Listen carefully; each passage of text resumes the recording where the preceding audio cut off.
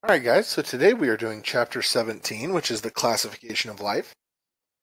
Uh, before we get started, let's think about what our learning goals should be for the day.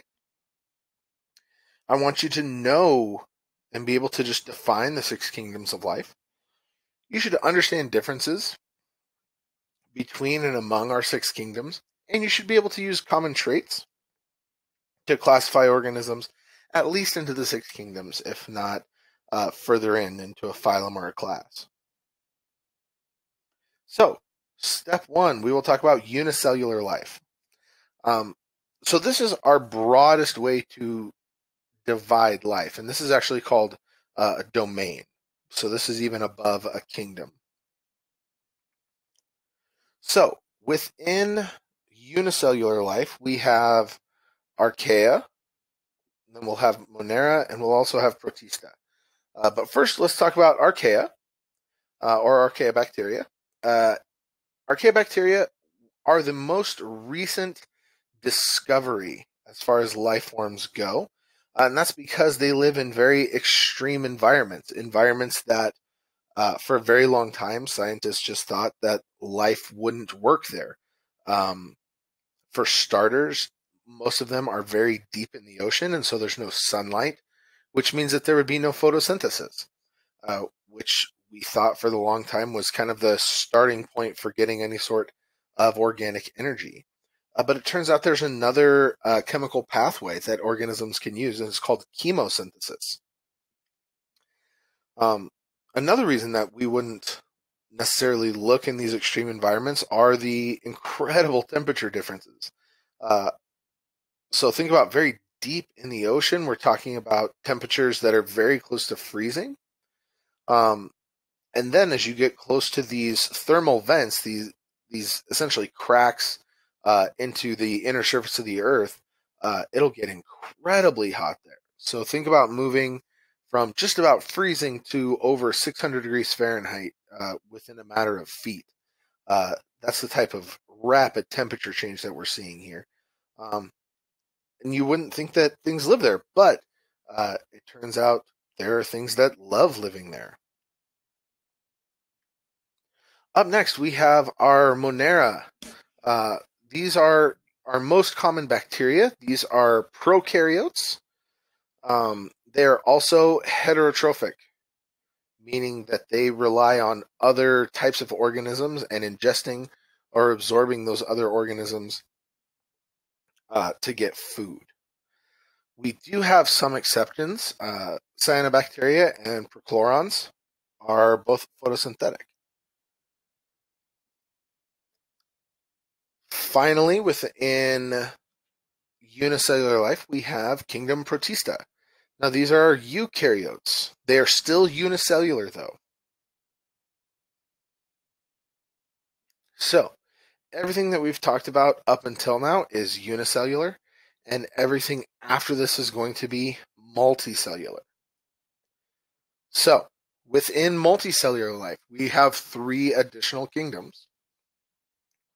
We have plants, animals, and fungus. And we'll get into these more in depth, but I just want you to see very, very basically how we would separate them. Uh, plants will have a cell wall and they will be an autotroph.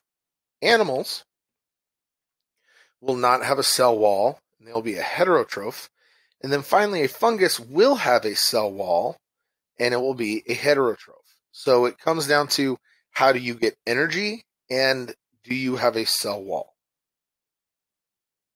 So, first up, we have a fungus, which will have a cell wall. Now, the cell wall is made of chitin, not of cellulose, um, but it does still have a cell wall, which might make you think it is a plant. You know, if we think of of probably the most famous fungus of mushrooms, um, it's easy to confuse those as plants, um, but they are not.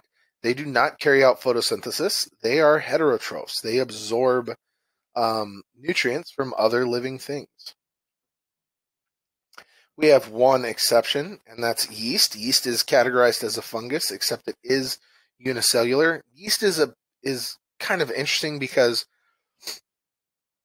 even though it is unicellular, um, yeast colonies can act in such a way that it kind of seems like they're uh, working interdependently. Um, and it's also important to note that funguses are very, very important to ecosystems because they serve to decompose um, dead things and get those nutrients moving back into the abiotic part of any ecosystem. Up next, we have our plants. Plants have cell walls, and those cell walls are made out of cellulose. They are going to be autotrophs. They conduct photosynthesis, and because of that, they contain chloroplasts. Um, they will reproduce sexually by pollen and ovule.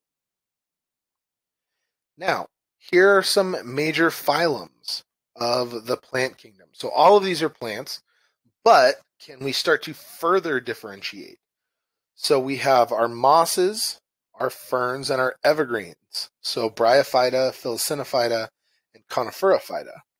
We will also have Anthophyta. And Anthophyta are flowering plants. And then we'll go even further down. We will look at um, the different classes where we have dicot. So obviously, di is a um, Greek prefix meaning two. So dicot is a two seed leaf. And that'll be most of our nuts and most of our fruits. And then we also have monocot. Mono is a prefix meaning one. So it's a one seed leaf. And that's going to be most of our grasses and our grains. So think of things like rice and corn. Finally, we have Kingdom Animalia. Kingdom Animalia will have no cell walls and it will be heterotrophic. All are multicellular and it's the most uh, diverse in all of the six kingdoms, most likely because as when we were first starting to differentiate things, um, a lot of things got put into the animal kingdom because it obviously wasn't a plant. Um, now, most of them will reproduce sexually through sperm and egg. And here are our major um, phyla within the animal kingdom. So we have Porifera, which are sponges and, and uh, sessile aquatic creatures. Uh, we have Chelicerata. We have Mandibulata. So those are both arthropods. Um, and the difference between those two are going to be um, how their jaw works. Then we also have mollusca, uh, which are, again, mostly aquatic um, creatures with exoskeletons. Uh, then we have chordata, so things that have a spinal cord.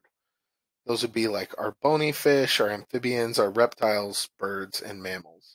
Um, and so obviously that's that's where we exist as well. Um, so, as a result of this, I hope that you can briefly discuss the six kingdoms, and that if I tell you some characteristics of an organism, that you could tell me where it falls into those six kingdoms. So, for example, if I tell you, oh, hey, this thing is unicellular, but it has organelles, could you tell me where that fits in? If I tell you, hey, this thing is multicellular and it has a cell wall and it's a heterotroph, could you tell me where that fits in? Those are your goals for the day.